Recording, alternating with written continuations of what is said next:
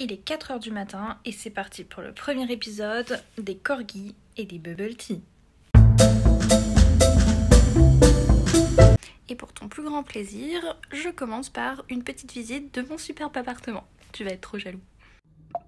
Alors, pour commencer, on est dans la cuisine. Franchement, c'est trop beau. Le tout petit salon avec la télé.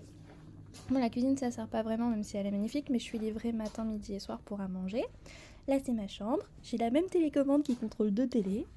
Et ensuite, la petite salle de bain où la douche est trop géniale. Et c'est moi Le seul truc qui est un peu dommage au final, c'est que j'ai pas la vue sur la mer, j'ai la vue sur un petit parking où les gens d'en face. Donc c'est ça. Mais je trouve que c'est quand même très joli.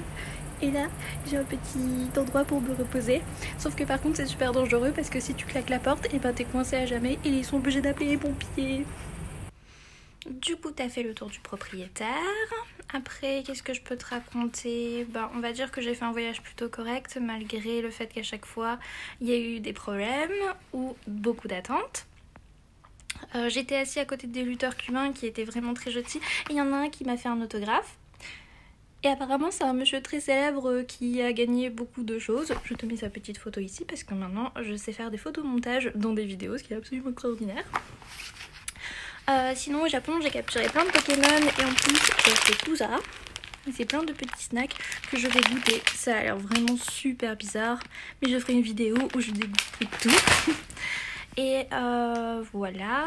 Après, on m'apporte à manger. Aujourd'hui, j'ai fait que dormir et regarder un peu euh, des épisodes des JO, vu qu'on a que 3 heures d'écart avec eux, donc c'est assez cool. Il euh, y a quelqu'un qui vient prendre ma température le matin et le soir. C'est une infirmière, elle est très gentille avec moi. Et demain, normalement, j'ai le droit d'aller faire une promenade comme les prisonniers euh, de 16h30 à 17h, je peux me promener dans le parc en bas et autour de la piscine, mais j'ai pas le droit d'aller à la piscine.